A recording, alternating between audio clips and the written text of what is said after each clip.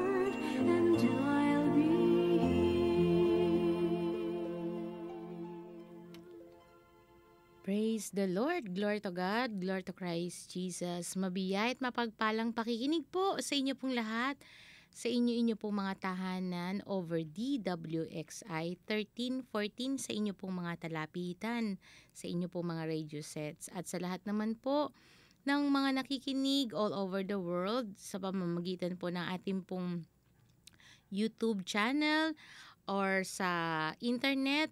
Hello, hello po sa inyo pong lahat at pagpalain po kayo ng Panginoon sa inyo pong pakikinig. Diyan lang po kayo at dito naman po ako.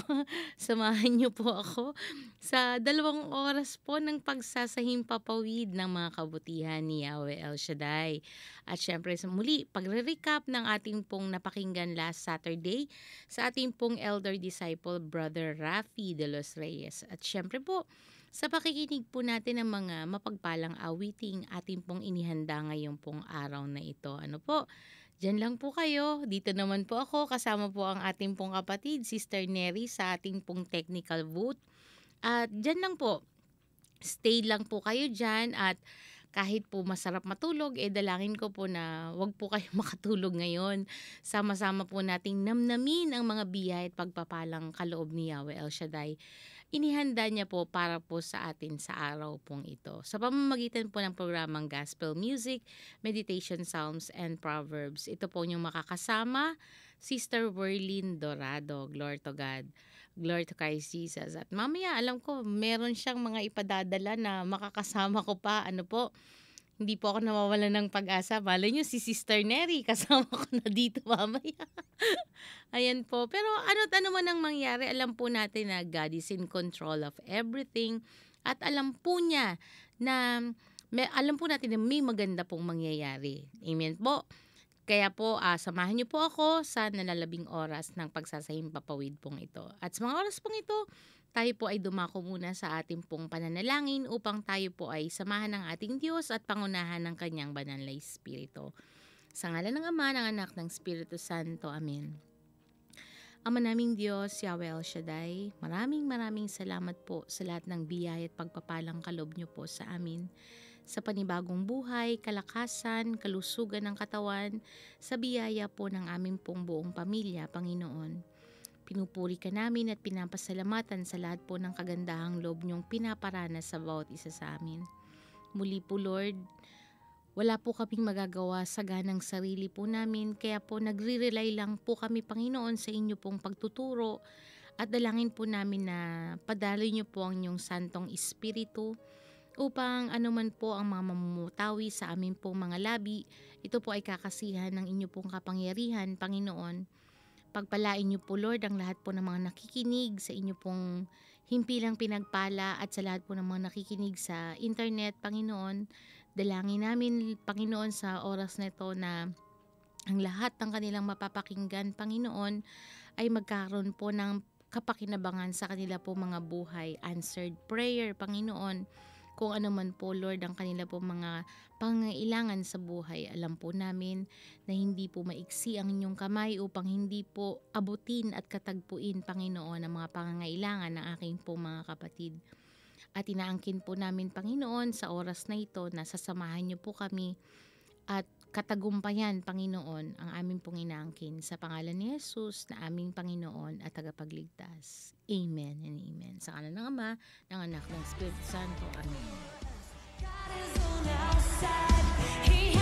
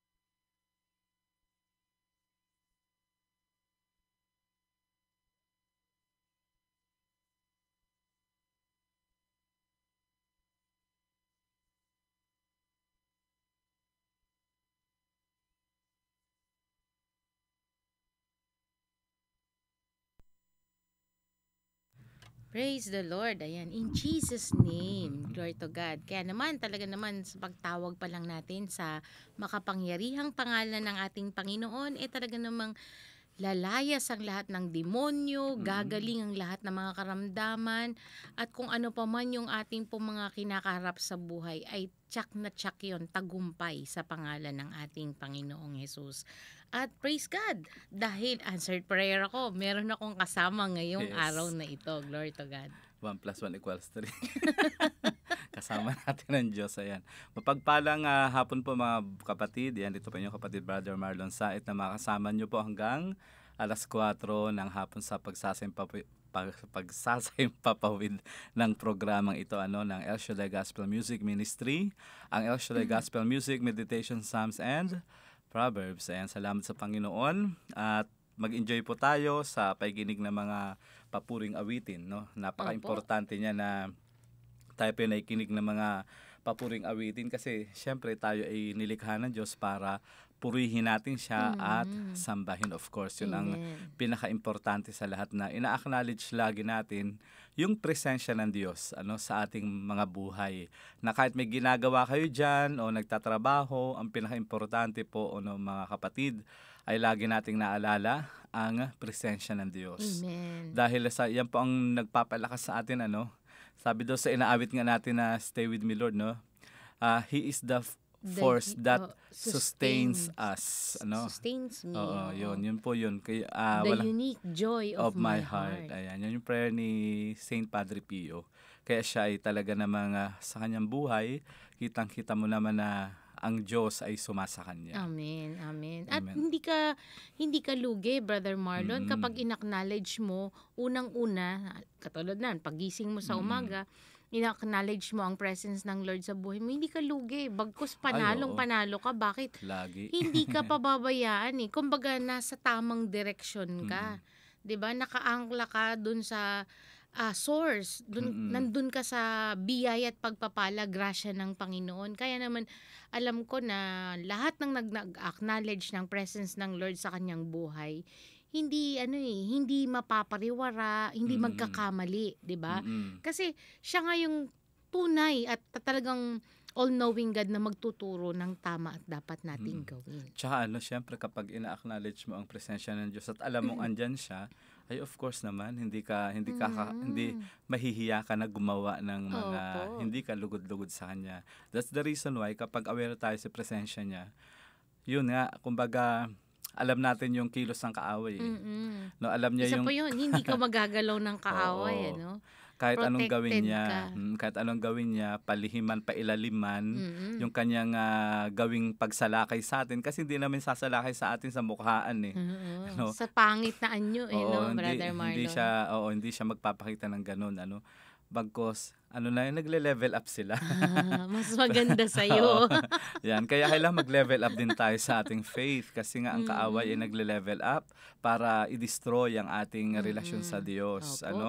Ah, kaya importante po talaga na lagi tayong babad sa presensya ng Yes. Panginoon. Kumbaga tayo po ng yun. mabuting balita ng ating Panginoon. Mm-mm. Ayan ang ano natin eh, sandatan natin, Brother Mm-mm, Marlon eh. mm-mm. Hindi naman natin pwedeng labanan ng demonyo ng sandata rin. Ay, ng, oo. ang tawag dito, yung mga, baril oo, or mga anything. powerful weapon. Oo, hindi ano? eh.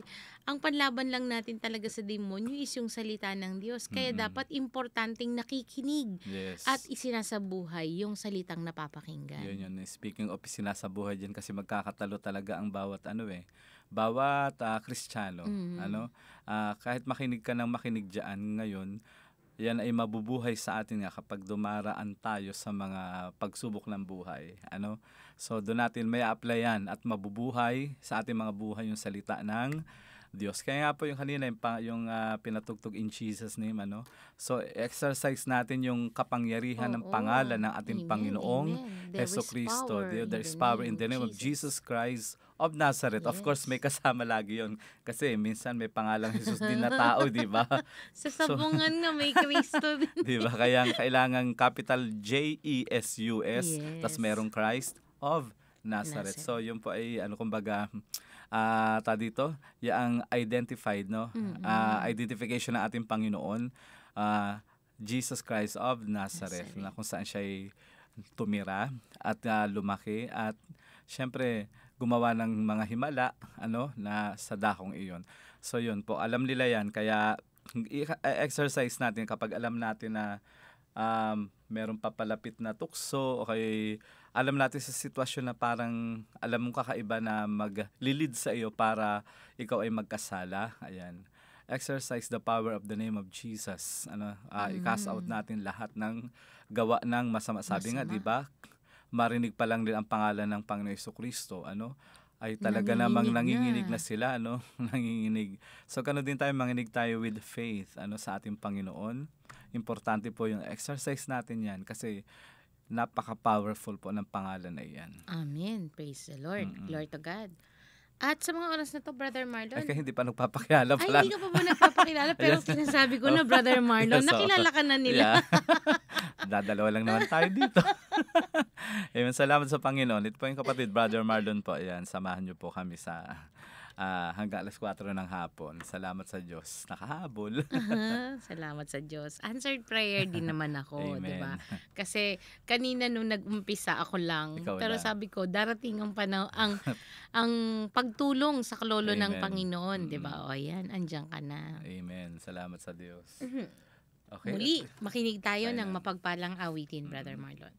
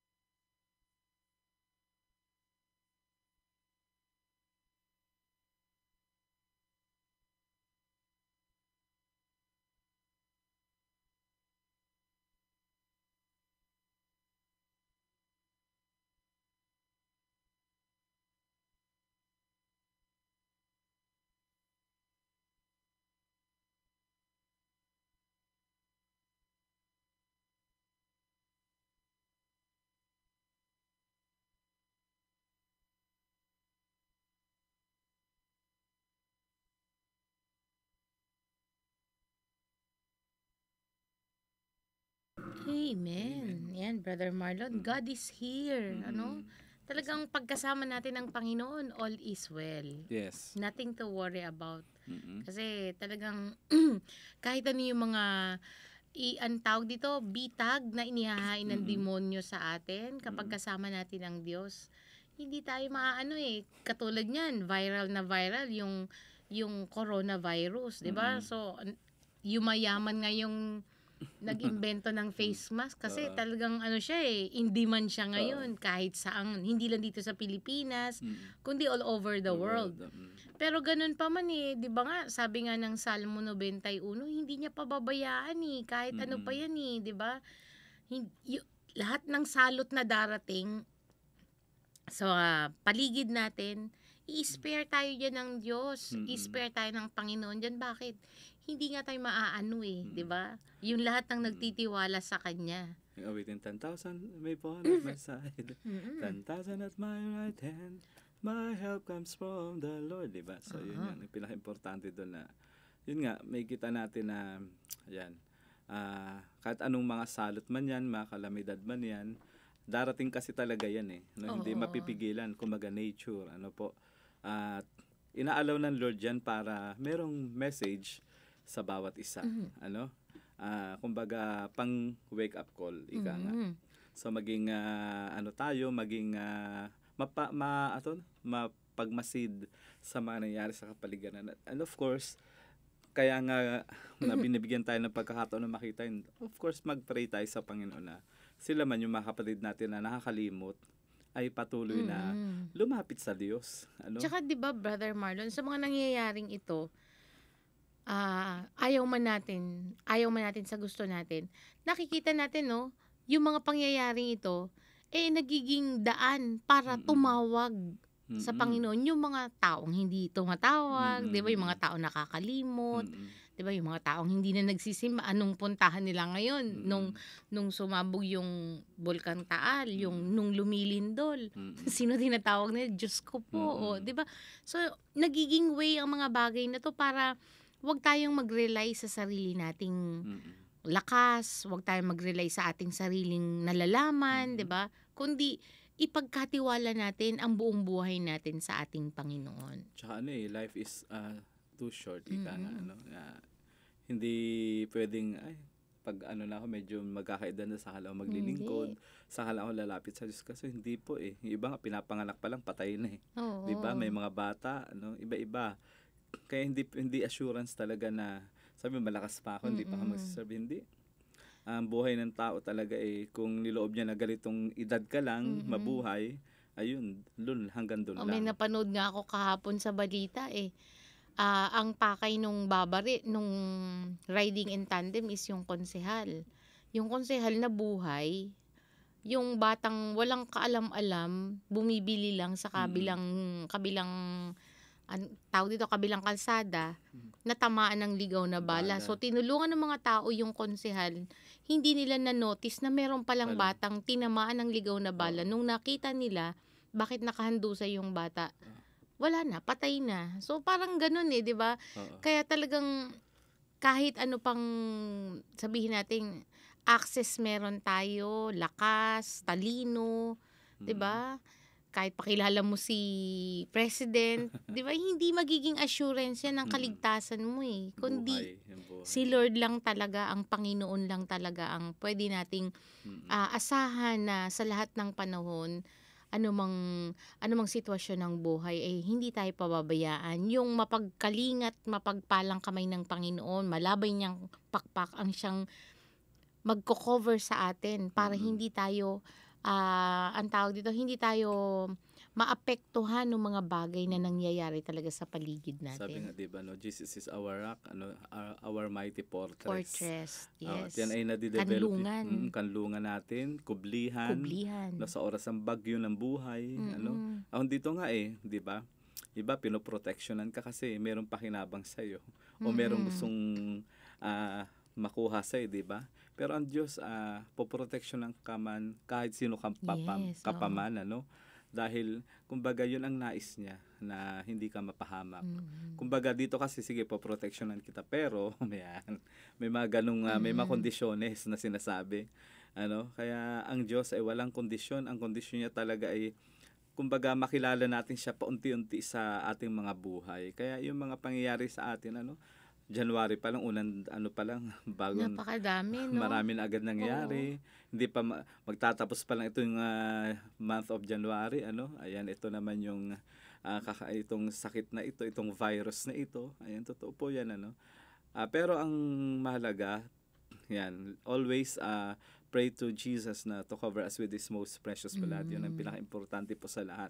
Na lagi tayong humihingi ng awa at gabay sa ating Panginoon. That's the reason why yung masabi natin God is with us. No? He is Emmanuel, the God God is who here. is within us.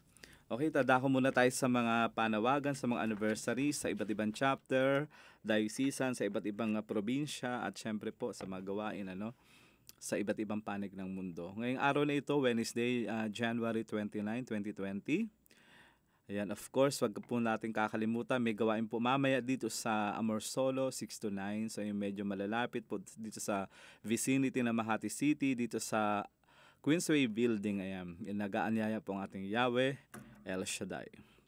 12th anniversary ng Mother of Perpetual Help Chapel Prayer Group dyan po sa FTIPNR site, uh, Western Bikutan, Taguig City, 3 to 9 p.m. 12th anniversary ng Mother of Perpetual Help Barangay G, Maderan, Samaka, Samaka Site Covered Court, GMA Cavite 2 to 9 p.m. At meron pong CLSS, ang Vicariate of Seven Archangels, at ang venue po ay sa St. Gregory Parish, Indang, Cavite, 8 a.m. to 4 p.m. Ongoing po ito, pwede bang humabol. Ah, 27th anniversary ng St. Peter and St. Paul Parish, dyan po sa Siniloan, Laguna, 3 p.m. to 9 p.m.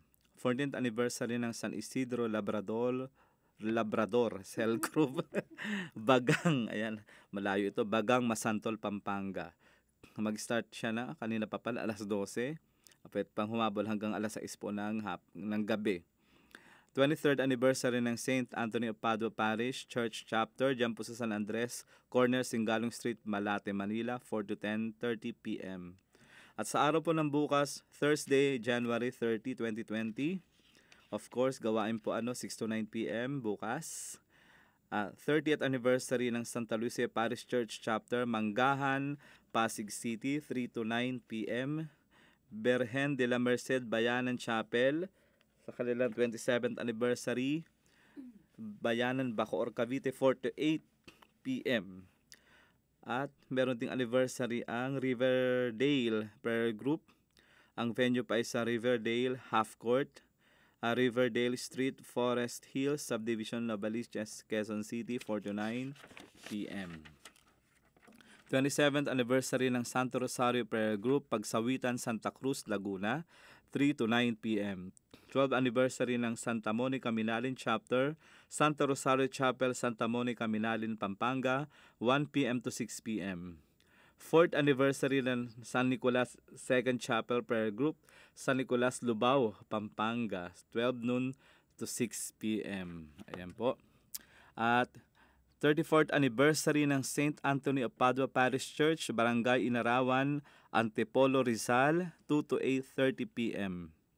Santo Cristo and St. Andrew Kim Taigon Parish, Lolomboy, Bukawi, Bulacan, sa kanilang 12th anniversary 2 p.m. to up to 8 p.m. 21st anniversary ng Berhen de las Flores Quasay Parish Church, Manggahan, Bigte, Nor Sagaray, Bulacan, 2 p.m. to 8 p.m. 26th anniversary ng San Isidro Labrador Parish Church, Cuenca, Batangas, 11 a.m. to 4 p.m. 6th anniversary ng Pamasawata 3 Cell Group, Pamasawata 3, C3 Road, Dagat-Dagatan, Caloocan City.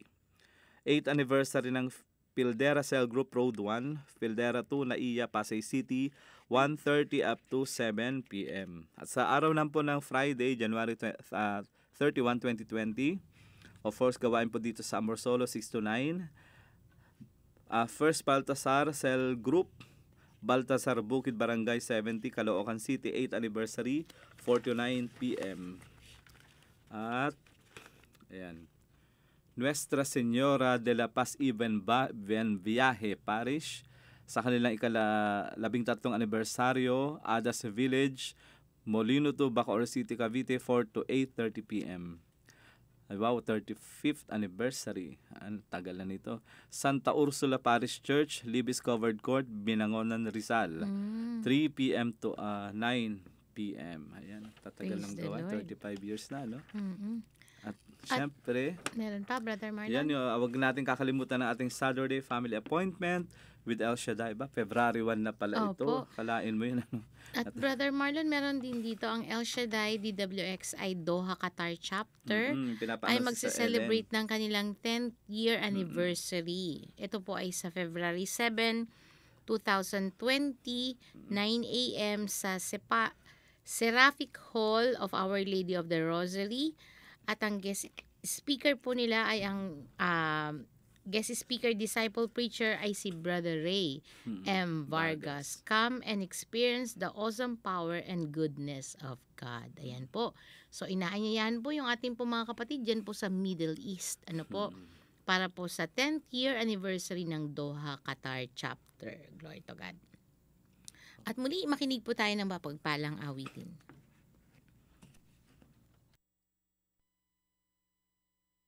Maganda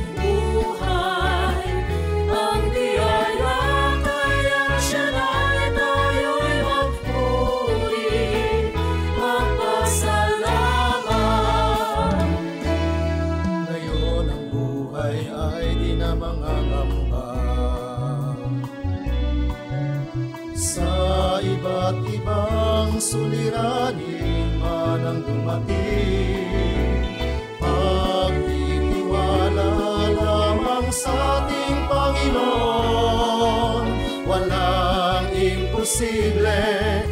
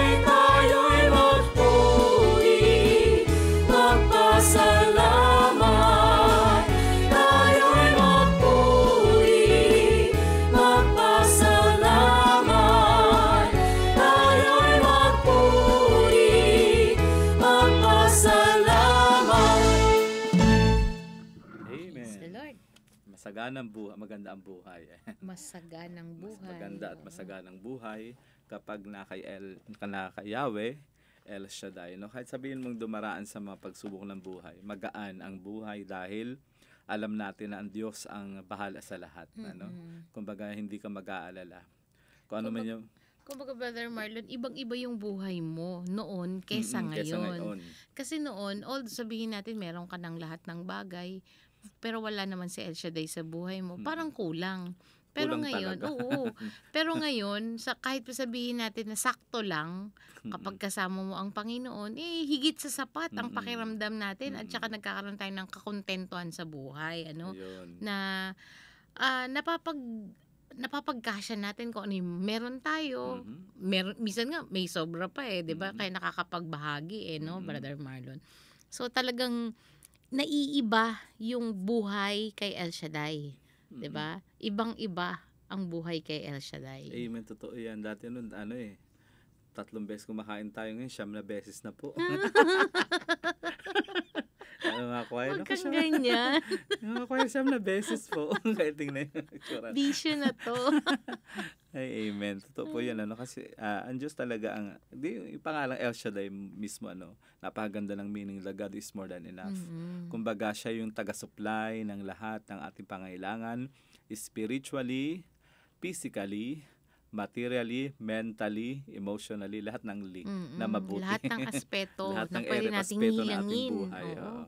Ayan. ah, Kaya ay- pagka medyo sabihin natin na sabihin natin na um, nag, nagkakaroon ng bad record yung isang lingkod, Mm. nangungutang, di nakakabayad, ano, o sabihin natin nagiging masyadong masalimuot yung kanyang Mm. pamumuhay, Mhm. eh baka mamaya eh hindi talaga si El Shaddai yung kanyang pinaglilingkuran, ano? Oo. So dapat tsaka baka meron dapat iayos sa kanyang kalooban, sa kanyang Yun. sarili, Mm. buhay paglilingkod, ano? Yes, oo. Kaya nangyayari yung mga bagay na yun. Kasi talagang totoo eh.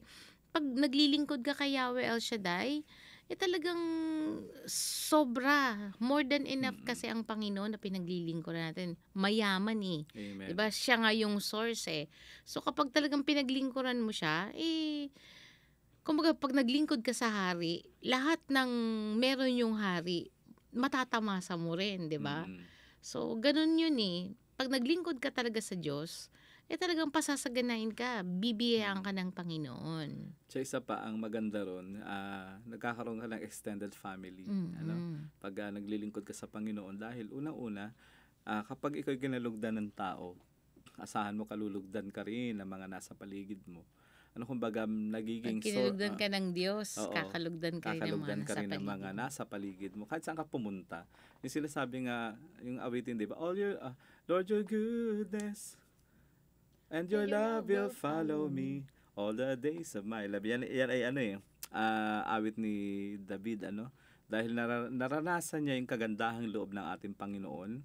Naranasan niya sa kabila ng kanyang mga pagkukulang, sa kabila ng kanyang nagawang kasalanan, still tinanggap siya ng Panginoon. At tunay nga po na ganun talaga eh, dumadaan ang ating uh, sarili sa mga masilimuot na tagpo ng ating buhay. Pero ganun pa man, kahit gaano man kasalimuot iyan, ang Diyos ang taga-ayos. Ano? Nagiging payapa ang ating buhay, nagiging maganda ang ating buhay, dahil si El Shaddai ay naririyan at hindi tayo pinababayaan. Ano man yung ating mga kinaka pa- pangailangan ano ah, hindi niya ito uh, namimiss na ipagkaloob po sa bawat isa sa atin. Okay? Salamat sa Panginoon. At may announcement pa rin tayo dito, no?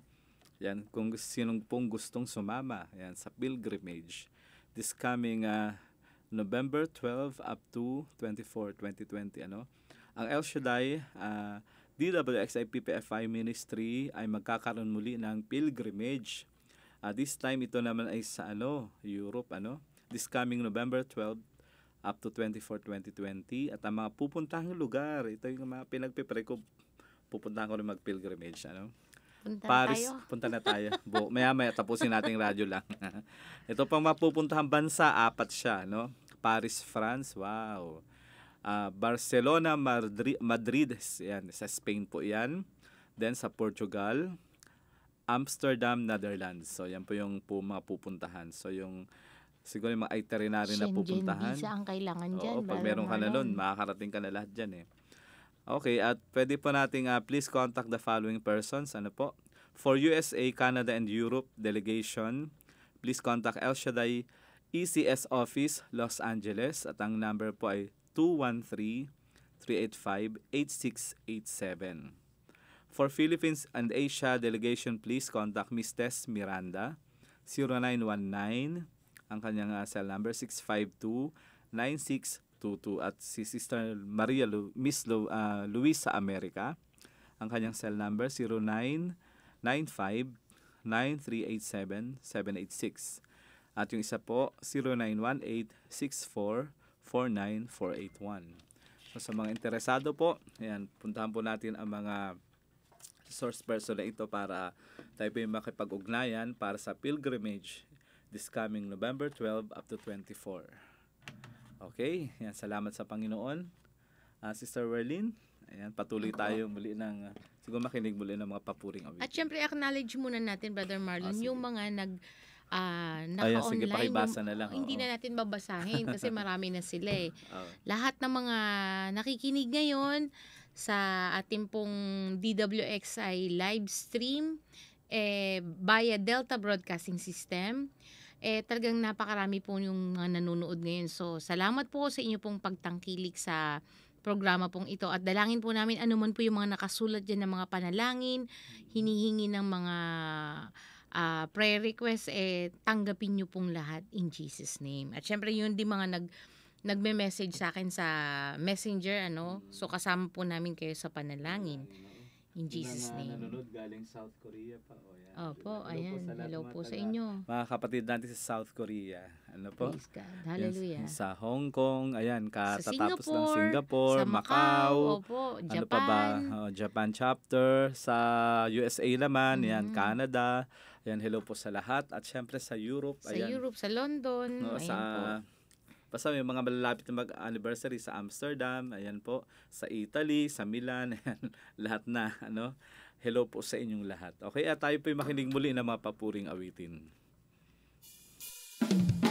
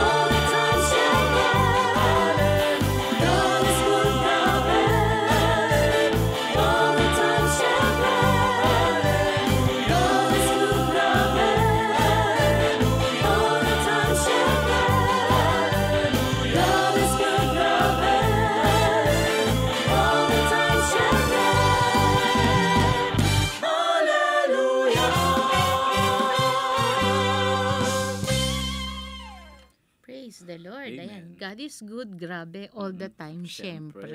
Ayan. Walang, Talagang, ano pang masasabi natin sa Panginoon, ano? Talagang grabe. Grabe na ito. Kaya ano kumbaga may kita natin no, sa ating mga buhay yung kagandahang loob ng Diyos sa atin, yung ah, kanyang kabutihan sa atin, araw-araw ba naman ano yung pagising natin sa umaga. Like, like sinasabi yung pagising sa umaga kasi nga ano eh bagong opportunity yun eh, bagong Mm-mm. biyaya, ano? Ah, kumbaga bagong Brand pagkakataon natin oo, na maging pagpapala sa lahat, di ba? Kaya napakapalad natin basta maimulat natin ang ating mga mata sa umaga. So paniba, panibagong buhay, panibagong pag-asa, panibagong pakikibaka, Pagkakataon. pagkakataon. Ayan. Diba? Ang lahat, ano.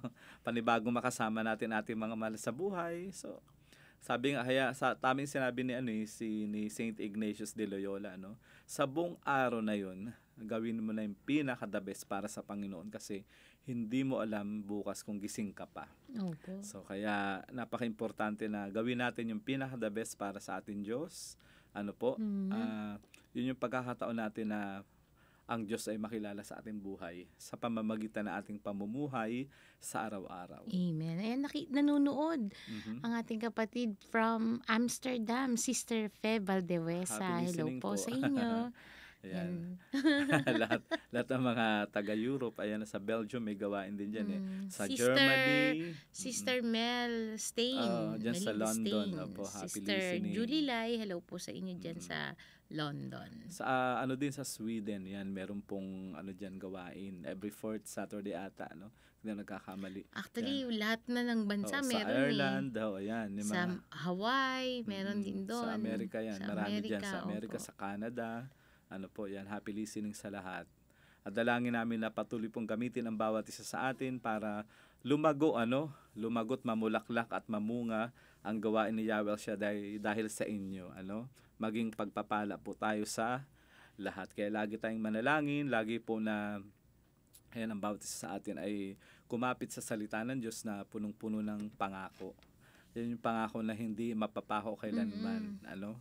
Yan ay Amen. talagang tuto pa rin ng Diyos sa mga taong patuloy na gumagawa ng kalooban ng Diyos. Okay po? At sa yan sa araw naman ng bukas, ano 'di ba? May ano pa may Don Mas ano. Um, ano pa to? January 30. 30. Yan, i-announce rin po natin yung PFCC, no? Laguna ang naka-assign po bukas. So, yung mga choir ng Laguna ang kakanta ng Don Mas bukas at ang paring na makasama nila, Reverend Father Jason Caballes. Ayan po. Yan, ang uh, elder disciple nila ay si Brother Rafi de los Reyes. So, lahat ng mga kapatid natin sa Laguna, kayo po ang in charge sa Don Mas sa araw ng bukas, Huwebes. Sa Friday, At sa Friday, ayan, ano naman, ah, kalma na naman. January Ano, 31. O, January 31. ah, sa lahat ng mga taga-Kalmana, yan, si Reverend Father Kevin Crisostomo ang kanilang ah, makakasamang pari ah, to be headed by Brother June Ilagan. Ayan. So, yan po yung mga nakaschedule sa Don Mas. At salamat sa Panginoon. Any anniversary, Sister Werlin, na ikaw ay merong pupuntahan.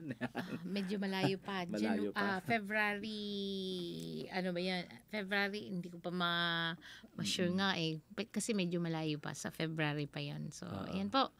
Siguro ah, ako naman din mag-invite. Pero parang kasama ka rin ata dun eh. sa ano to, sa Imus Cathedral. Opo. Doon, ah, February 21. Ayun na yun. Yun, ah, ayun. February 21. Yung kanilang anniversary. At syempre dyan sa pinagbuhatan Pasig naman. Ayan, ah, mga third, ano yun, third Wednesday ng February din naman sila. So, mal- mga ano na marami na mag-celebrate na mga anniversaries po ngayong ah, buwan ng Pebrero. At syempre in advance, Happy Valentine's.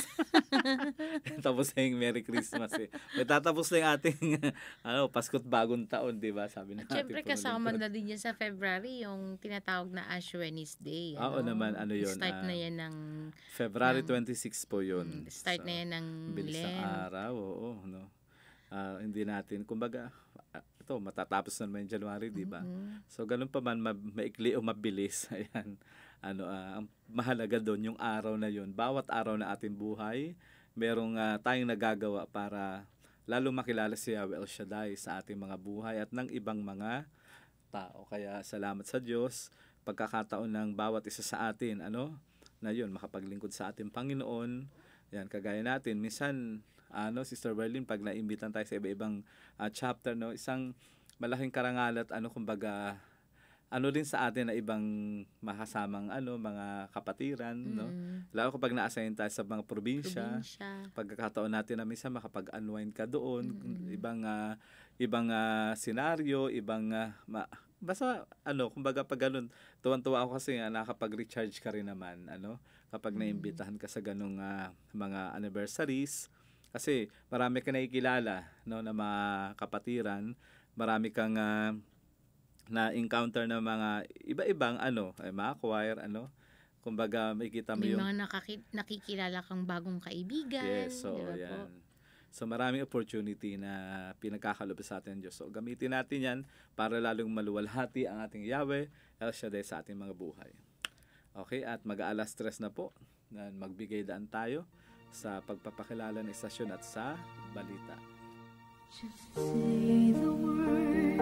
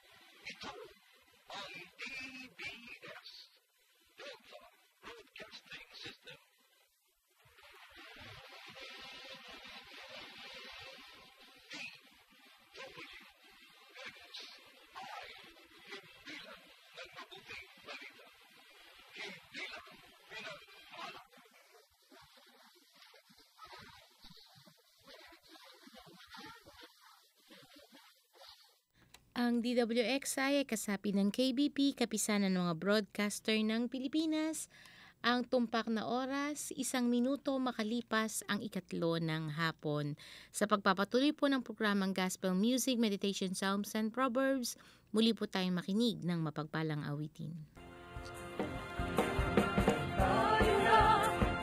ang lahat ay sumamba.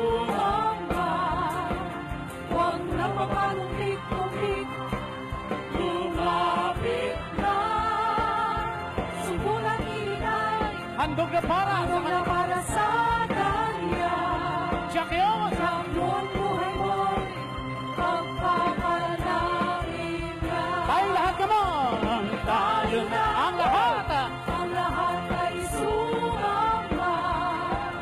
Huwag na mapalumpik-lumpik, lumapit ka! Lumapit ka! Subukang ibigay! Handog na para sa kanya!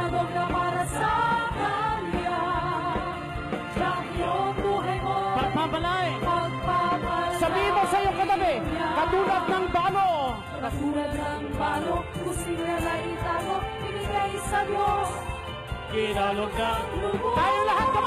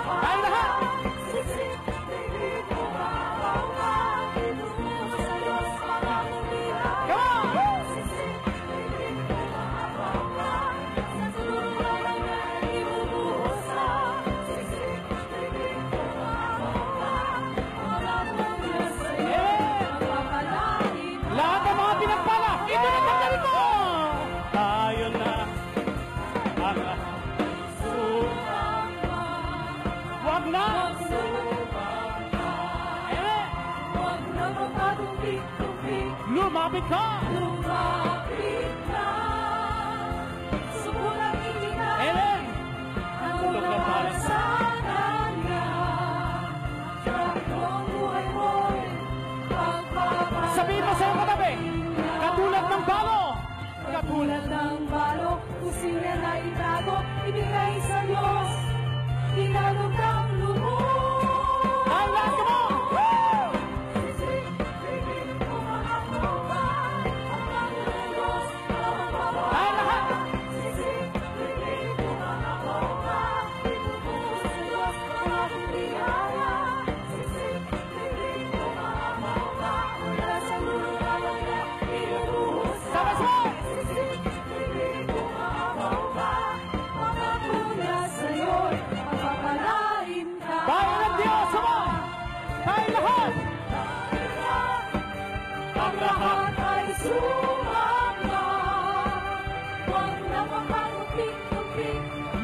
lumapit ka. Subukang ibig. Handog na para kayo eh. Champion. Sabi mo sa likuran mo katulad ng balo. Katulad ng balo, kung sinalaing talo, ibigay sa Diyos. Kinalugdan ng Panginoon. Meron ng lubos. Sabay sa kapal na. Siksik,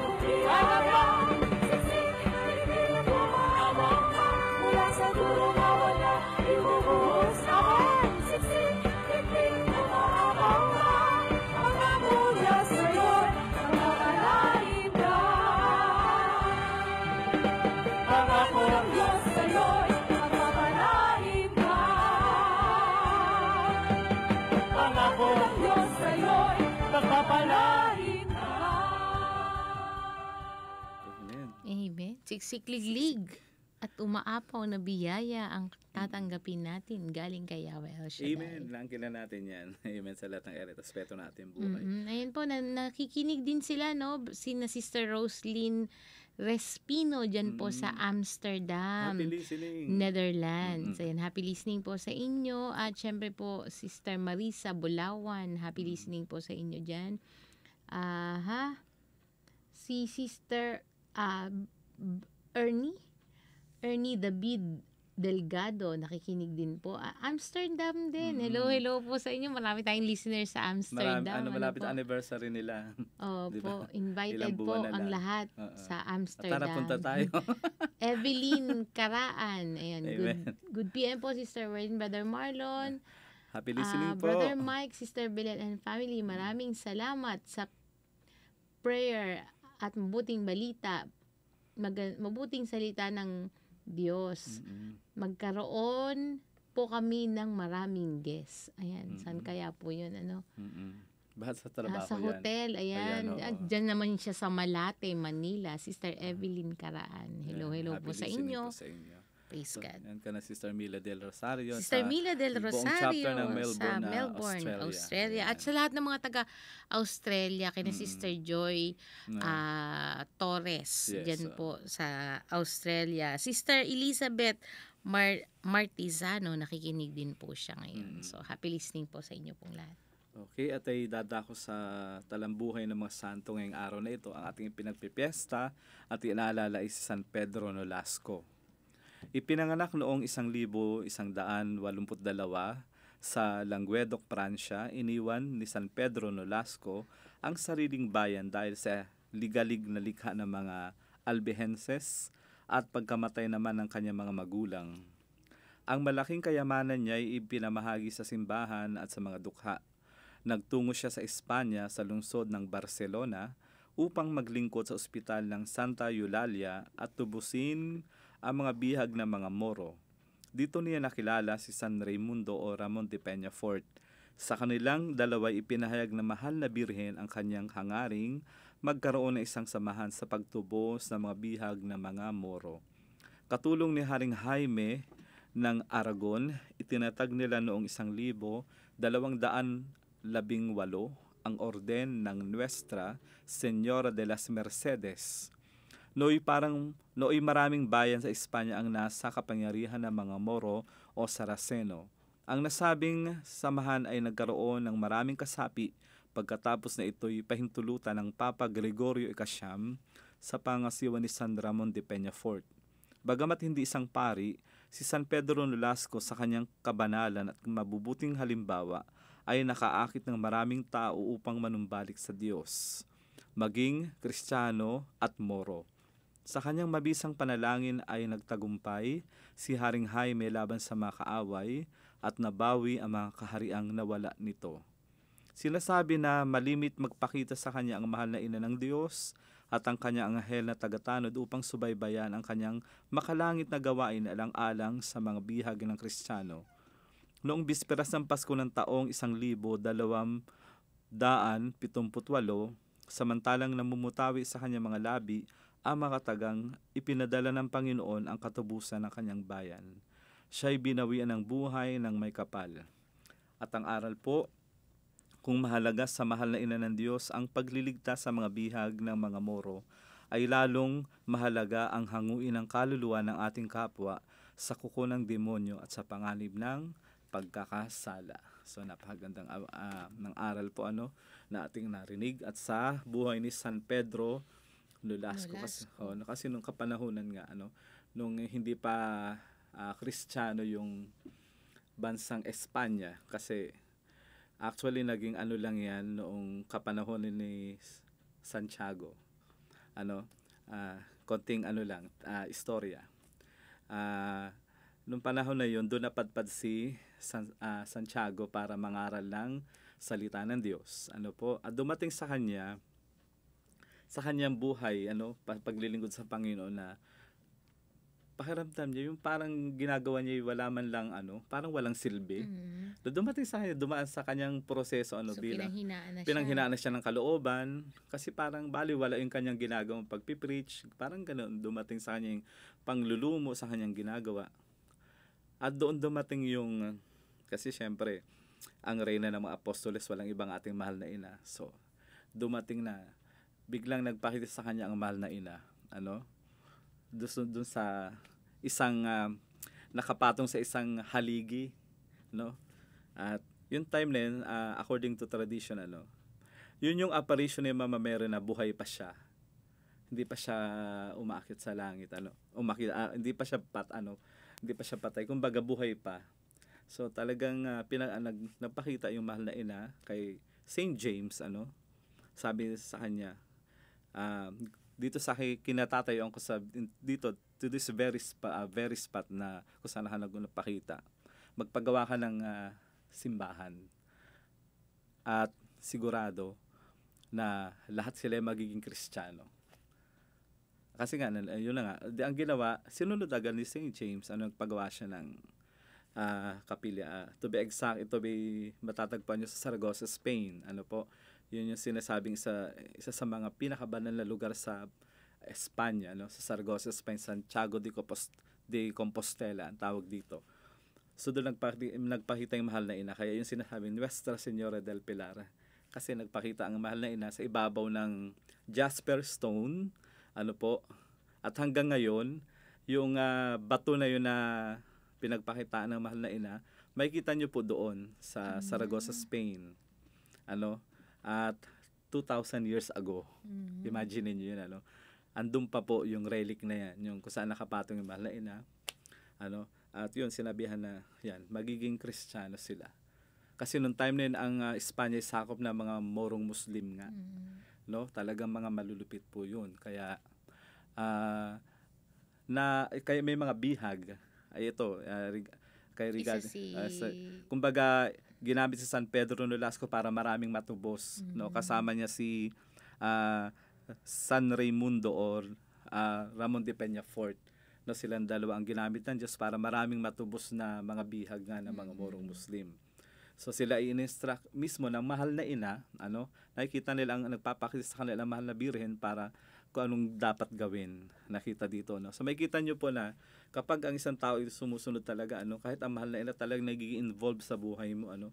Kagaya ni St. James, ano, yung, yung nangyari sa ginawa niya, sumunod siya, at nagkatotoo yun, ano, naging ah, Kristiyano ang bansang Espanya.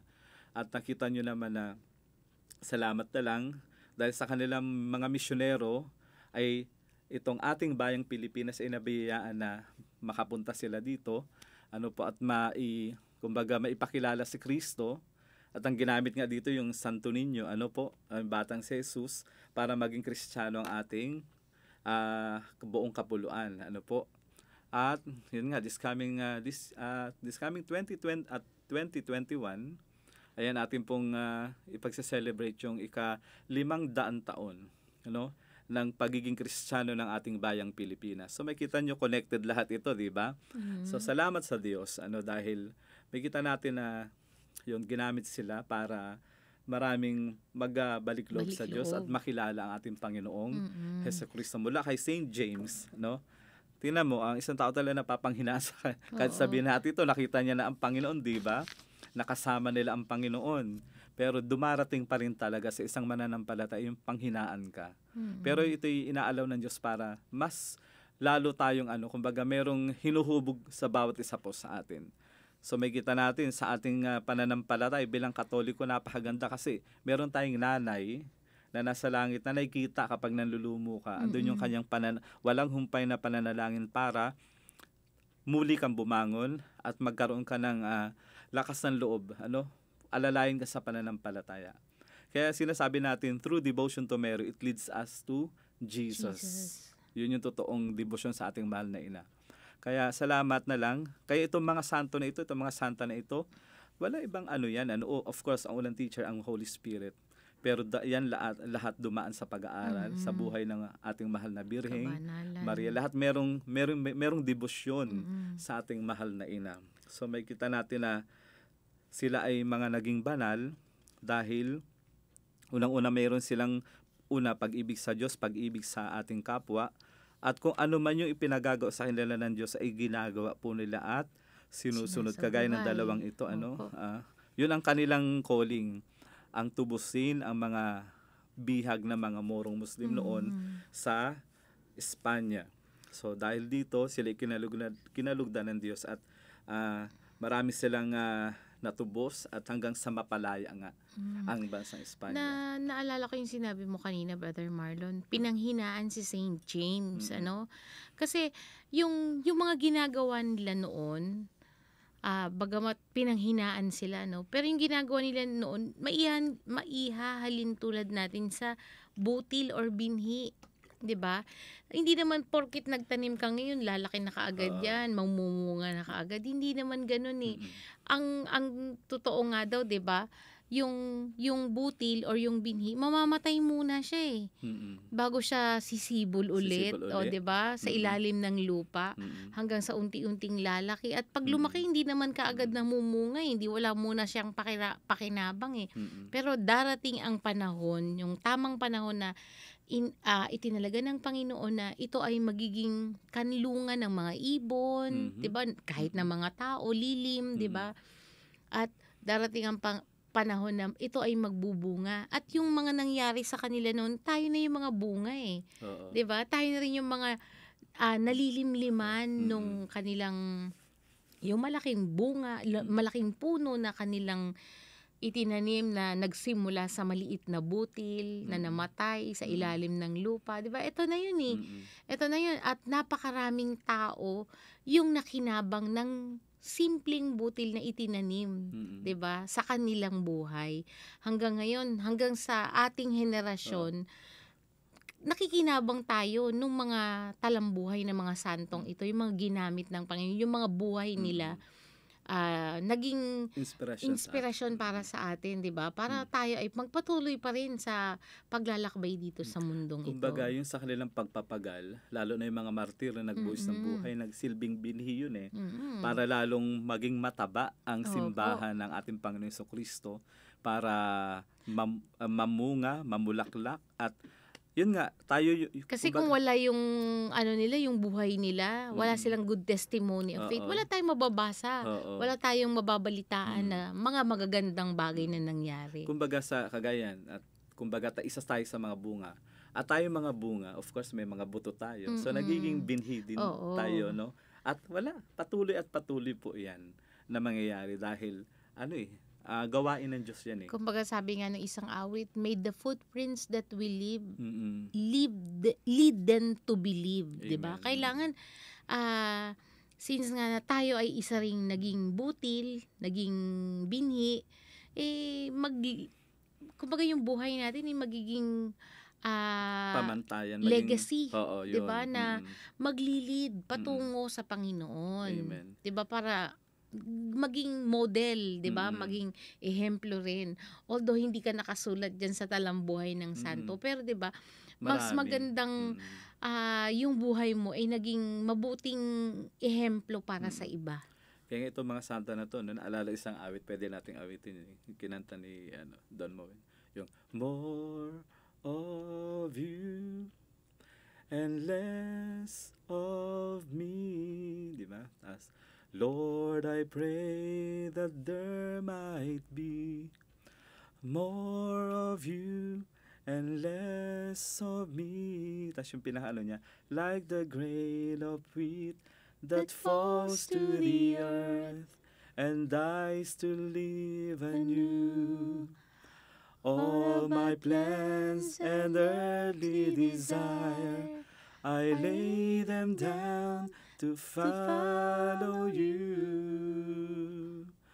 More of you and less of me. Lord, I pray that there might be more of you and less of me. Like the grain of wheat that falls to the earth and dies to live anew.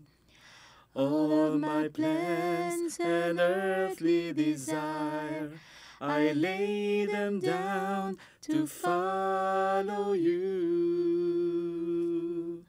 More of you and less of pray that there might be more of you and less of me. We, We want want more of you. More of you. We want more of you. Eh. Tinitingnan kita kasi sinusundan ko yung yung yung buka ng bibig mo kasi nagkaka ano na ako eh ibig sabihin sa tagal na, at dami ng mga kanta, na- bakit napapabali-baligtad ko na yung lyrics, Lyrics, so tinitingnan eh. kung maigi baka magkamali ako Amen. Pero kita natin ano yung mga kagaya mga awitin yan. Nagbibigay sa atin ng inspirasyon. Mm-mm. At yan ay based on uh, Bible, ano yung yung uh, yung yung lyrics niya, di ba? Mm-mm. Uh, like the grain of wheat that falls to the earth and dies to live anew. Ayan. Kaya nga, yung sinabi mo kanina, yun, no? kaya biglang na-recall ko yung awitin. Mm. So, tamang-tama yun. Ano? Yun naman talaga kailangan, more of you, Lord Jesus yes and less of us. Ano kasi pag yung ah, tayo na yung ano eh, ang nangyayari na overpower natin yung Oo. yung ano eh, yung ibig ng Diyos eh. Mm-mm. Kaya nangyayari, nagkakaroon talaga ng conflict ang ating mga buhay dahil hindi natin sinusunod yung ibig ng Diyos. praise the Lord Amen. Amen at Okay. dahil dyan Dahil dyan. makinig tayo ng isang mapagpalang awitin Amen.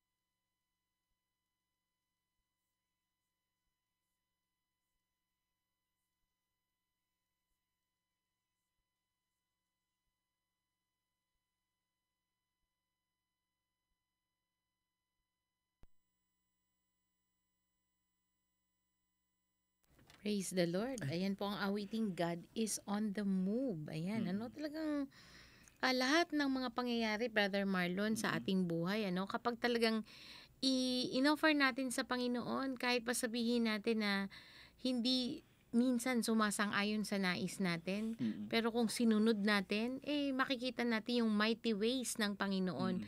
na gumagawa sa ating mga buhay, Mm. ano? Kumbaga, yung Eh kanyang... katulad nun, yung napag-usapan nating mga santo kanina, no? Mm. Siyempre, ikaw ba naman ang ialay mo yung sariling buhay mo? Siyempre, Mm. hindi yun maganda para sa'yo. Pero, nakita naman natin yung effect after, di ba? Nung pinagkatiwala nila, yung, siyempre, yung mga pangyayari yun sa buhay nila, di ba? Kaya nga sila tinawag na martir kasi Mm-mm. hindi ordinaryo, extraordinary yung kanilang mga pinagdaanan. Even yung death nila, di ba, Mm-mm. Brother Marlon? Yung hirap na pinagdaanan Mm. nila is very extraordinary. Walang may gusto nun. Pero, sabi nga eh, kapag kumilos ang Panginoon, God is on the move in a mighty ways. Mm. Hindi natin kayang aro- arukin Mm. ng sarili nating mentalidad ano pero kapag sinunod natin napakaraming kapakinabangan ang magiging dulot nito katulad Mm. natin ngayon. 'di ba sabi nga natin kanina tayo ay la- tayong lahat ay bunga ng mga buhay ng mga Mm. nakaraang santo Kagaya na ating ah, ano, unang santo, San Lorenzo Ruiz, Mhm. ano, dumating sa kanya na nag-alinlangan kaya siya, no? Mag-aalinlangan sa... gusto, gusto niya gumib up eh. Ikaw ba naman, Diyos ko, kat, grabe torture ang Oo. inabot. Ang inabot eh. Kaya nga, yun nga, ang nangyayari, kaya yung kanyang famous quote na, ah, kung mayroon libong buhay man, meron ako. kung Di libong ba? buhay Patuloy at patuloy kong Oo. iaalay sa Panginoon. Kasi bakit? No, nasa dulo na siya ng, ano, at the end of his rope, ika nga, ano, gusto niya nang gumive up. No, gusto niya i-give up ang Panginoon. Nagdadalong isip na siya. Doon dumating yung Panginoon. Dinalaw siya mismo sa kanyang kinakukulungan. Ano, kinomfort siya doon, ano. At doon siya nagkaroon ng kalakasan muli. Kaya doon niya nasabi na kahit anong gawin na sa kanya, sige, pagutay-gutay na ako, Mm. patuloy at patuloy kong ibibigay ang buhay ko sa Panginoon. Ay grabe yung parusa ang inabot niya, 'di ba? Yung akalain niyo po yung 'di ba yung karayom i papasok sa pagitan ng kuko mo. Di ba, masalubsuban ka lang, ang sakit na. Ay, mas may, yung sampung daliri mo lalagyan, tapos pagigitarahin ka. Yung isa sa mga unang torture po sa kanya.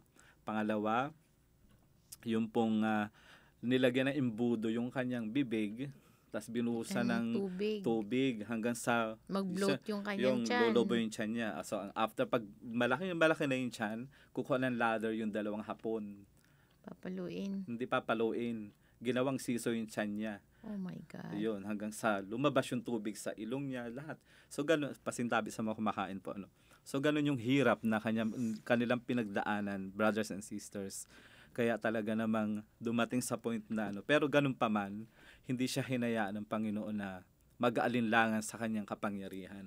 At yun nga po, ano, ang pinakalas na ginawa sa kanya is ibinita ng patiwarik. Tapos, ginilitan ng leeg, yung, le- yung leeg niya ng maliit lang na sugat. Killing me softly. Kumbaga, yun. Kumbaga. Kumbaga, ipinating ka ng patiwarik. So, yung dugo niya, hindi agad-agad. Ano, imagine, tapos yung pinagbaunan yung, inilagay yung mukha mo, yung buong ulo mo dun sa, kasi mabulkan sa Japan, ano, mismong nilalabasan ng sulfur, doon nakalubog yung kanya. For three days, natiis niya po iyon hanggang sa siya bawian ng buhay. At ang ginawa, nung siya namatay, sinunog yung kanyang bangkay at isinaboy sa dagat. So nung nabilitaan ng sam- simbahan dito sa Manila yung ano yung heroic virtue nung ni San Lorenzo Ruiz, lahat ng kampana rito, lalo na sa Binondo, ano po, ay talagang ah, pinakalembang lahat yon in honor. Kumbaga, saludo sila sa ginawa ni San Lorenzo Ruiz. Hindi siya gumive up. Talagang ibinandera niya ang Panginoong Isus ang kanyang pananampalataya at pag-ibig sa Diyos. So, yun po. Makikita natin, yung mga martir na hindi na baliwala ang kanilang ginawa, ano, pagsasakripisyo ng buhay para ang simbahan ay tunay nga pong ano, patuloy na madiligan, ano, patuloy na lumago, patuloy na mamulaklak, patuloy na mamunga sa mga santo na ito. Kaya salamat po sa kanila, no, inspirasyon ang bawat ah, isa sa kanila. Kasi yun ang talagang general vocation natin to become holy because our Father in heaven is Holy. a holy God. So kaya grasya yun ng Diyos. Ano, maging martir sila, grasya po yun na galing sa Panginoon. Kasi hindi nila kayang gawin yun kung sa ganang sarili nila. Diyos ko, yung torture pa lang, pwede ka na umurong doon. Ano?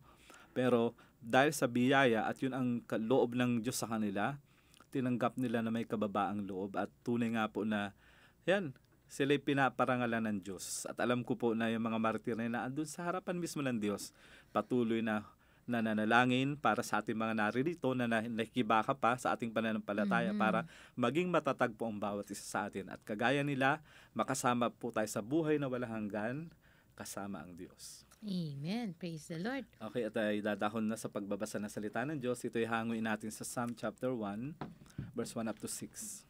Praise the Lord. Hallelujah. Glory to God. Mhm. Glory to At Christ. napakaganda nung ano, eh, nung uh, topic last ano no, last Last Saturday, Saturday. Brother Rafi.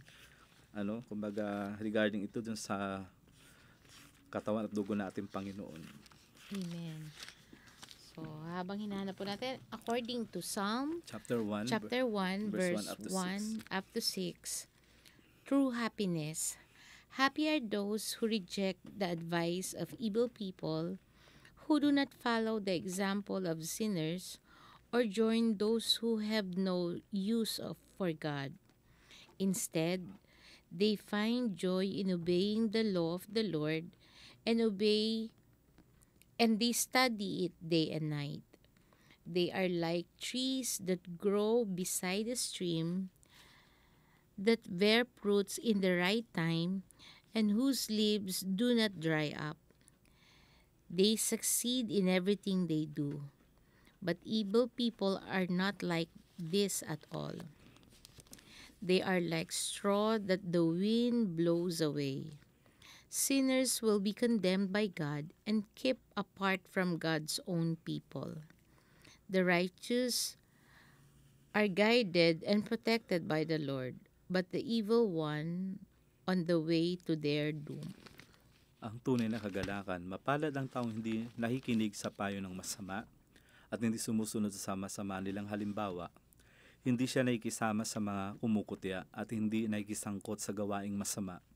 Sa halip, kasiyahan niyang sumunod sa kautusan ni Yahweh. Binubulay-bulay niya ito sa araw at gabi. Katulad niya ay punong kahoy sa tabi ng isang batisan, laging sariwa ang dahon at namumunga sa takdang panahon. Ano man ang kanyang gawin ay siya'y magtatagumpay. Hindi gayon ang sino mang gumagawa ng masama. Ito ay tulad ng ipa, hangin ang siyang nagtatangay. Sa araw ng paghukom, parusan niya ay nakalaan.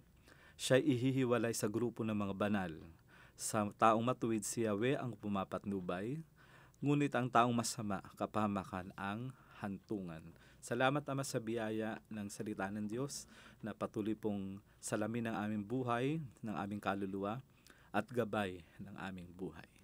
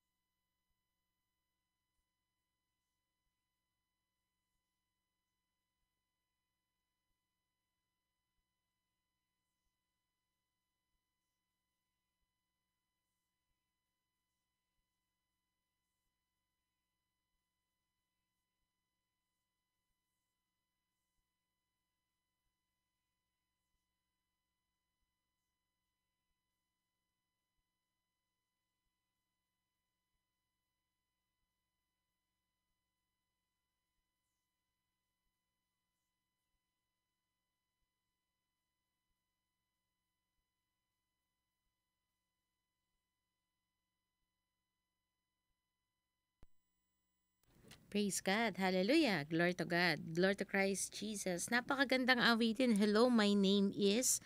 Dati, talagang ang pagkakakilala natin, tayo ay talunan, loser, tayo ay punong-puno ng karamdaman, sickness, hatred, ayan, 'di ba? Yan yung mga sinisiksik sa atin dati ng demonyo.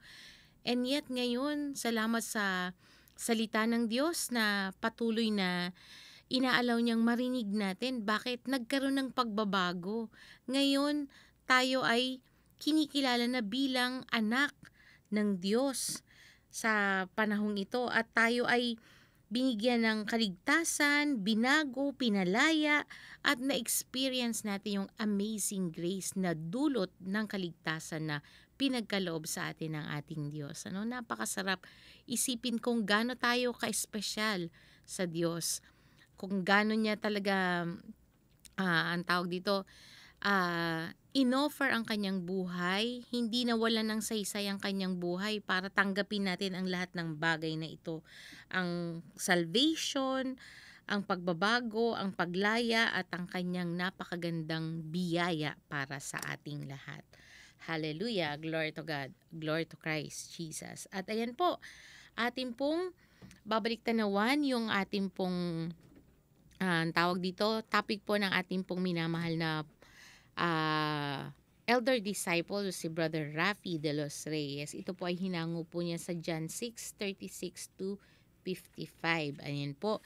Ito po ay tungkol po Brother ah, Marlon sa ah, ang tawag dito, let's eat and be filled, 'di ba po? Mm-mm. Sa tungkol sa Eucharist, 'di ba po, na ah, nabigyan bigyan po niya ng paliwanag last Saturday. Glory to God. Ang sabi po niya, may tatlong haligi ang ating pananampalataya para para yung ating pananampalataya ay maging matatag. Ito po yung una po yung aral, Mm. dasal, aral, asal at dasal. Ayan po ano brother Marlon. Yung pag-aaral ay pwedeng mangyari sa pamamagitan ng pakikinig, Mm-mm. 'di ba po? Pagbabasa, 'di ba? Natututo tayo na, na i-equip tayo sa pamamagitan niyan or ah, paraan din para matuto is yung panunood ng mga TV, TV programs na or yung magbibigay sa atin ng mga ano, ang tawag dito yung kapupulutan natin ng Aral. aral, 'di ba po? Ayan po yung mga nasabi po ng ating minamahal na elder disciple. At syempre yung asal, yung ating pag-uugali, 'di ba po? Mhm. Kumbaga kung sabi nga niya eh na na na, na touch po niya doon na kung ano yung kinakain mo, iyon yun, iyon ka. You eat, uh, what, What you, you will eat, eat, you become. You will become. So same thing din, kung ano yung napapakinggan natin, kung ano yung nakikita natin, iyon din yung nagi, na-adapt natin eh. Kaya Mm-mm.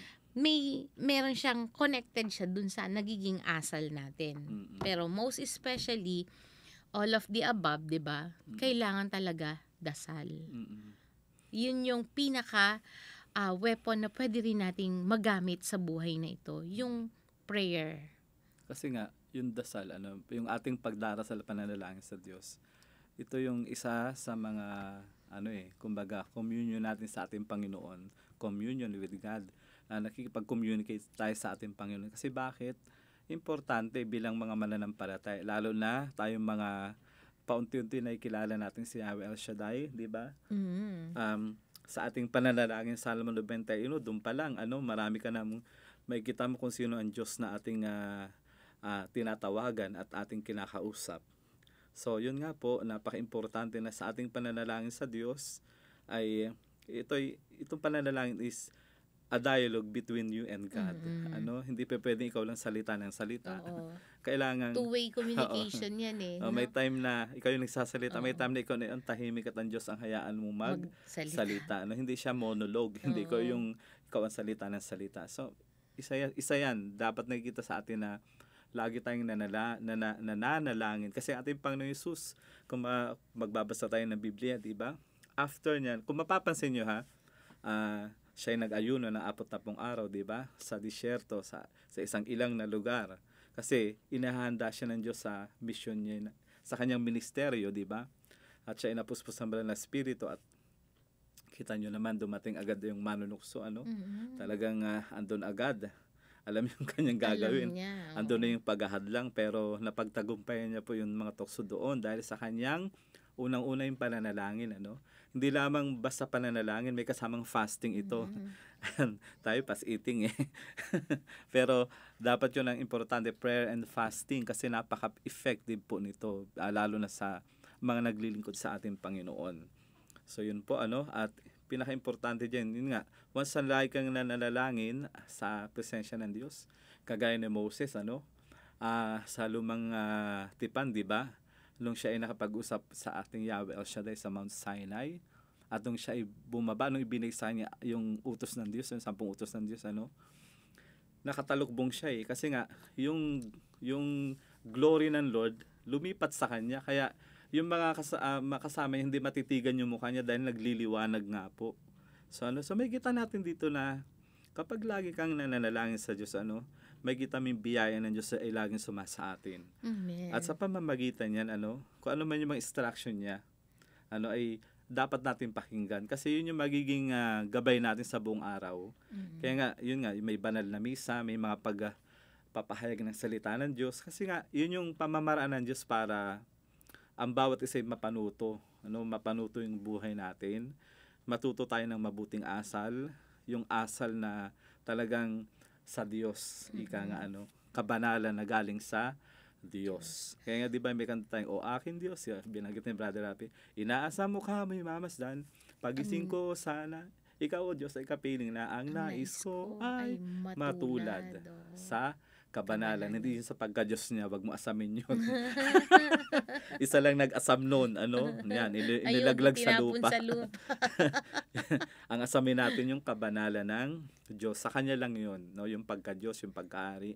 Pero yung kabanalan yan, i-claim natin yan. Kasi Amen. hindi tayo makakapunta sa kaharian ng Diyos pag hindi tayo naging banal.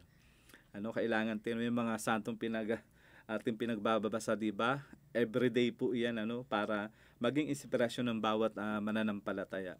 So lalo na ano, salita ng Diyos na punong-puno ng katotohanan, punong-puno ng mga pangako. At syempre, ayan sa pananalangin, nagiging aware tayo na kasama natin ang Panginoon. Mm. At saka dun, Brother Marlon, sa pamamagitan ng dasal, Mhm. napapakilos natin ng Diyos eh. Mhm. No? Kumbaga, yung ah, pag pag talagang nananalangin ka eh yung mga impossible nagiging possible eh, Mhm. 'di ba? Amen, amen.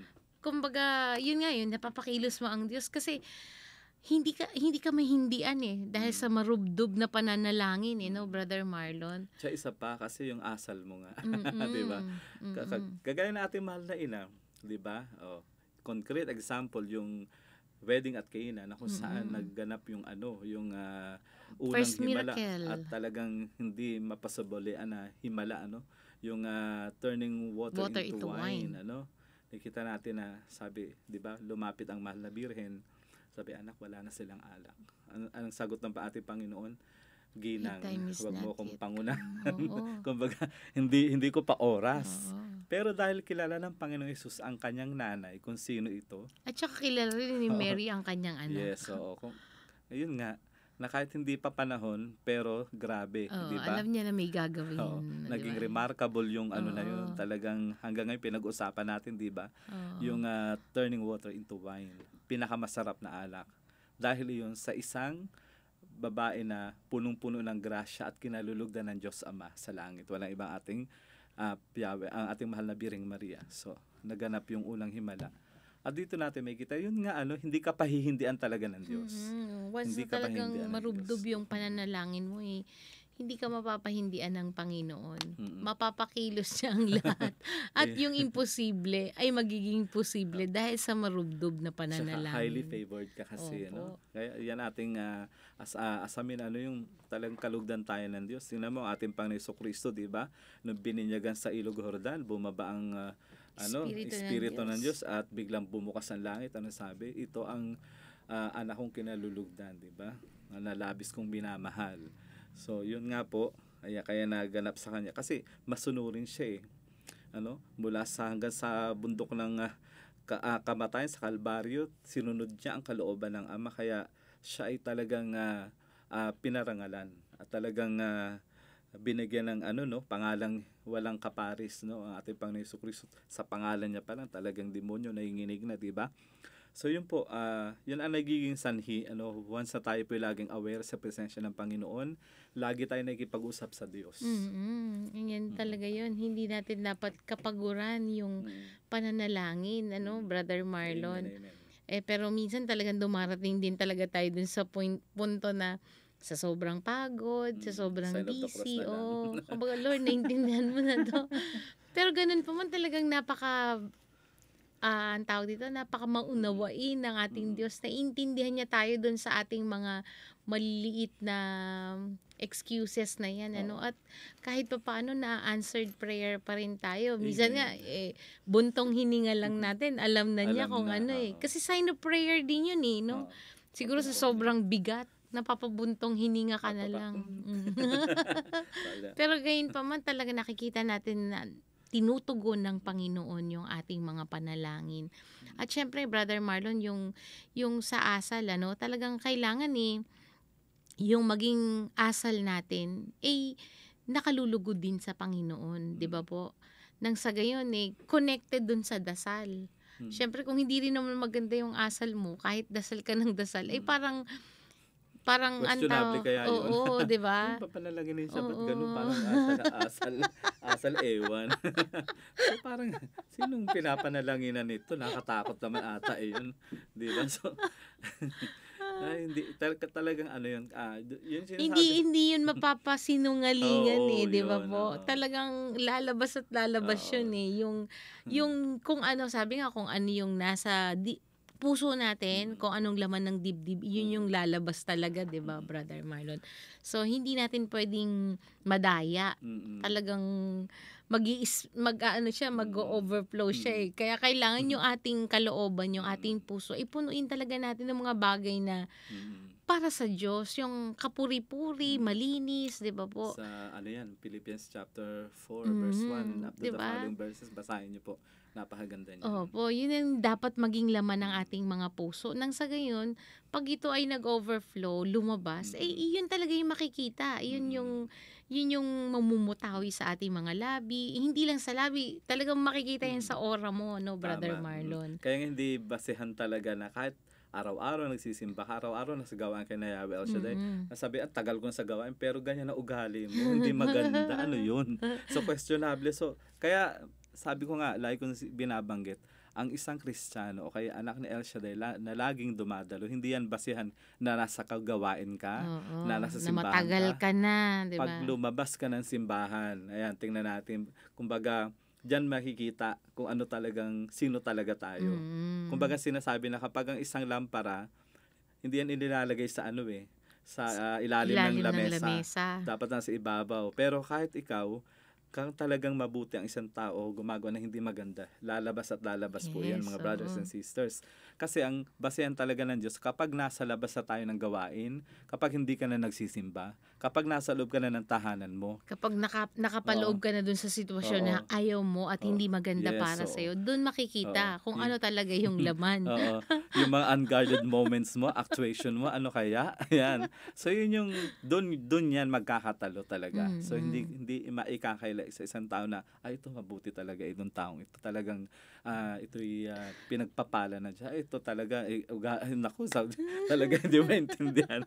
O di ba? Sa nawa wag ganun na mag, nawa maganda yung ano, yung impression ng mga tao sa bawat isa sa atin kasi hindi po talaga may kakaila gumagawa ka man ng mabuti o hindi ay lalabas at lalabas po yun sa Mm. pagkatao natin, sa totoo lang. Kaya yun ang basihan ng Panginoon. Kapag nasa labas ka na ng gawain, nasa workplace ka na, ano bang, ah, anong attitude mo, di ba? Attitude kasi talaga it matters eh. No? Ah, kumbaga, pag nasa loob ka ng simbahan, yung pitong sungay mo, umu, um, maano yan eh, pumapasok eh. Pag lumalabas sa simbahan, yun, unti-unti- Lumalambot Oh, ba? Oo.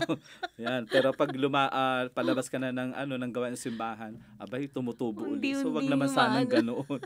No? Kumbaga sabi nga, 'di ba, kagaya ni San Pablo, it is no longer I who lives in me. Mm. It is Christ Jesus, ano? So kapag yun, yun panalangin si San Pablo, alam niyo naman, 'di ba? ang buhay niya kung sino man siya before. Number one persecutor, ng mga Kristiyano, di ba? oo. Pero nung first encounter niya sa Panginoon, ang laking pagbabago sa kanya. Kaya Brother Marlon, true listening of the Word of God, Mhm. Eh talagang hindi mo pwedeng sabihin na, ay ganito na talaga ako, ito na ako mula noon. Hindi. Talagang pag nakikinig tayo at talagang sinasapuso natin yung pakikinig ng salita ng Diyos, meron talagang pagbabagong may nagaganap sa buhay Hindi natin. ka ano? pwedeng wala. Opo. Oo. Pero kung halimbawa sabihin man natin na talaga sasabihin, ito na ako, ay hindi ka talaga totoong nakikinig ng salita ng Diyos. Kasi kapag talagang totoo ka nakikinig ng salita ng Diyos, Mhm. hindi man yan instant, hindi man yan mabilis, little by little, nababago talaga Mm. tayo. Totoo yun. Di ba So, po? yun nga, yung sinasabing pag tunay tayo na pag isa sa ating Panginoon, i-embrace mo kung anong gusto ng Diyos eh. Mm. So, i sasa iano mo lang yung sarili mong kagustuhan eh. Isi-set aside Oh, mo na. aside mo na kasi ito na yung gusto ng Diyos sa'yo. Kasi ito, ang gusto ng Diyos, dito ka mapapabuti. Amen. Ngayon, nagkakaroon nga ng conflict ang isang mananampalataya pag yung sariling gusto Mm. ang ah, kanyang sinusunod. Pero ang buti pa rin talaga ng Panginoon, hinahayaan tayo eh. Mm. Hinahayaan tayo na gawin yung, sige, anong gusto mo. Tapos pag nasa dulo na, na ano, nakulong ka na sa pinagagawa mo, no, no, sa, dahil nagkamali ka, Lord. ano, saklolo naman ang Panginoon. Yun ang napakabuti sa atin, Diyos. Ano, kahit nasa masalimuot na sitwasyon dahil sa iyong katigasan ng ulo, andun pa rin siya para damputin ka. He will Amen. make a way, no? Where there, Where there seems, to be, no, no way. So ganun ka ano ang ating Diyos sa ating pakikinig ng salita ng Diyos. Mm, Napaka-importante. Yun yung aral eh. Aral. Mm. True listening. Mm-mm. the word of God, natututo tayo at yun yung nagiging nagbubulid sa atin para mabago yung ating asal. Yes, so, At sa pamamagitan ng pagbabago ng asal, natututo tayong magdasal. yun. 'Di ba? Mm. Kumapit manangan sa ating Panginoon, Mm. Brother Marlon. Amen. At isa pa sa nagpapalago sa atin ano pananampalataya yung ano banal na misa. Mm. Ayan, kaya sikapin natin brothers and sisters ano sa gawain. Ay, Oo, sabi nga simulan Oo, at tapusin tapusin ang gawain. gawain, 'di So ba? po? sikapin natin na yung ano eh misa. Mm. Tandaan niyo po na ang misa is the sinasabi summit or apex of our Christian faith, ano? Wala nang hihigit diyan, no? Ito yung talagang ah, rurok Opo. no ng ating ah, pananampalataya itong pinagkaloob sa atin ng ating Panginoon ano mababasa natin yun nga po sa John chapter 6 yan basahin po natin yung ano na to no yung chapter na to dahil dito talaga nakapaloob ano yung ah, sinasabi na talagang si Kristo ay presente sa banal na Eucharistia Mm. Si- sabi rito oh, sa chapter 6 verse 35 sinabi ni Jesus ako ang tinapay ng buhay ang lumalapit sa akin ay hindi na magugutom kailanman at ang sumasampalataya sa akin hindi na mauhaw kailanman. Ayun po ang sabi niya at meron pa rito. Ayan. Pakatandaan ninyo malibang kainin ninyo ang laman. Ito pa sa verse 53 ano? Mali, sinabi ni Jesus, pakatandaan ninyo, malibang kainin ninyo ang laman ng anak ng tao at inumin ang kanyang dugo, hindi kayo magkakaroon ng buhay. Ang kumakain ng aking laman at umiinom ng aking dugo ay may buhay na walang hanggan at muli ko siyang bubuhayin sa huling araw. Sapagkat ang aking laman ay tunay na pagkain at ang aking dugo ay tunay na inumin. Ang kumakain ng aking laman at umiinom ng aking dugo ay mananatili sa akin. Pakatandaan po yan ha mananatili ang sino mga laging kumakain ng katawan at dugo ng ating Panginoon. Yan. At ako naman sa kanya.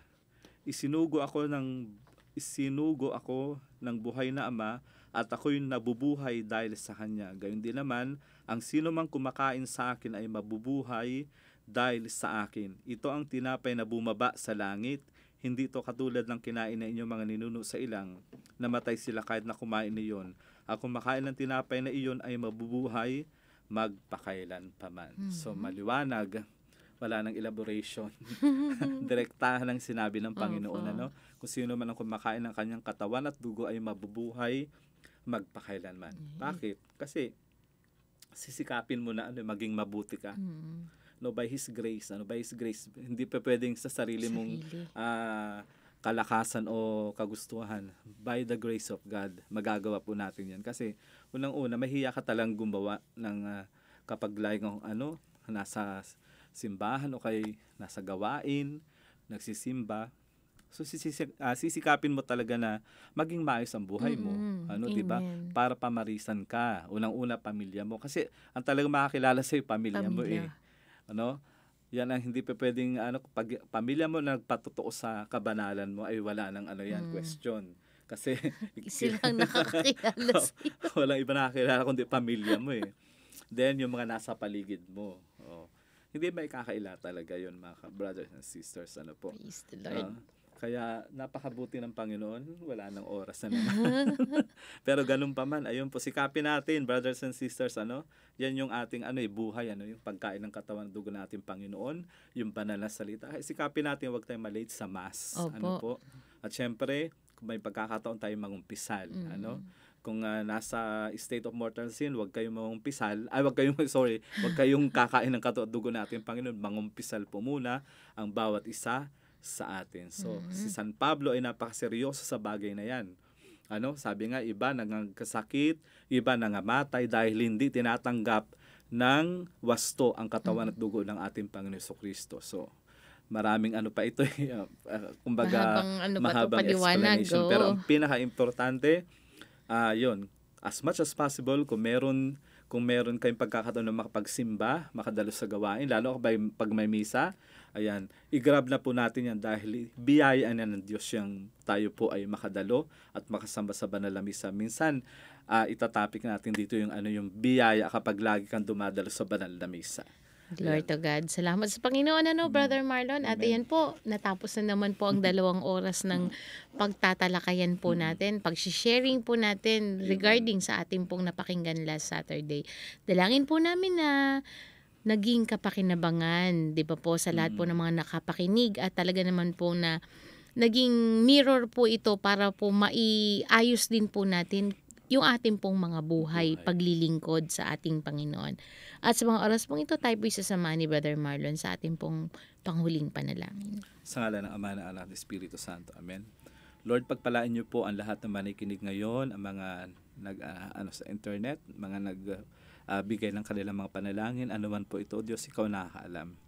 Lord, tulungan niyo po ang bawat ah, aral na aming napapahinggan ay tunay nga pong tumimo sa aming buhay at ang asal ng bawat isa sa amin ay maging asal na kagaya ng isa inyo Panginoon Jesus na isang maamo, isang ah, mabuting ah, ah, alagad ng Diyos at tunay nga na sumusunod sa kalooban ng Diyos. Tulungan niyo po kami dahil mahihina ang bawat isa po sa amin. Patawarin kami sa aming pag- pagkukulang. At pagpalain niyo po ang bawat isa sa amin, lahat ng manikinig, Panginoon, ano man ang kanilang personal na kahilingan, dahil sa inyong aral at presensya, ay tunay nga pong lumayo sa pagkakamali at pagkakasala. In Jesus' name, Amen. At ang lahat ng mga may karamdaman ay pagaling sa pangalan ng Jesus. Amen. Sa ngalan ng Ama ng Espiritu Santo. Amen. Praise the Lord. At sa himig po na inyo pong napapakinggan, pansamantala po kami nagpapaalam sa inyo. Ito pa inyong kapatid, Brother Marlon Sayat. God bless. Sa pangalan po ng aming head, Brother Jojo Ingan, at nakasama rin po natin sa technician ang ating pong kapatid, Brother Loreto Mancho. Pansamantala po nagpapaalam sa inyong lahat. Ito po inyong kapatid, ka-prayer partner, Sister Werlin Dorado. God bless us all and count your blessings. Bye-bye po.